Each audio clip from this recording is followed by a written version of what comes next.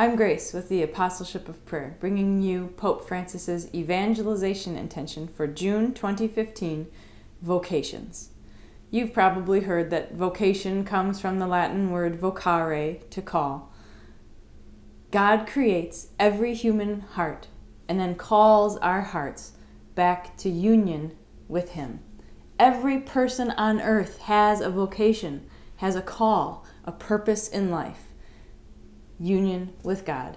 We want to live our lives in personal intimacy with the Lord, running towards the Father with outstretched arms, bringing along as many people with us as we can.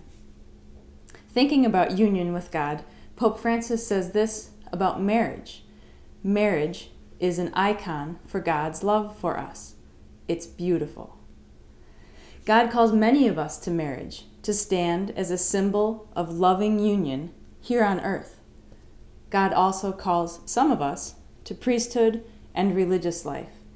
This kind of consecrated, vowed life is a radical witness to our ultimate union with God Himself. Young people's lives change when they realize God is calling them to union. Our prayers for young people can help those called to priesthood and consecrated life to be open to God's joyful plan. So let's all join in prayer together this month, all around the world.